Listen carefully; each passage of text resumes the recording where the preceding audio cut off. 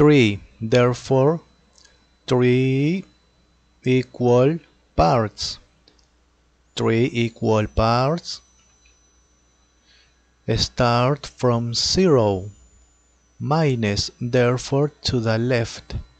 4 therefore 1 2 3 4 here finish.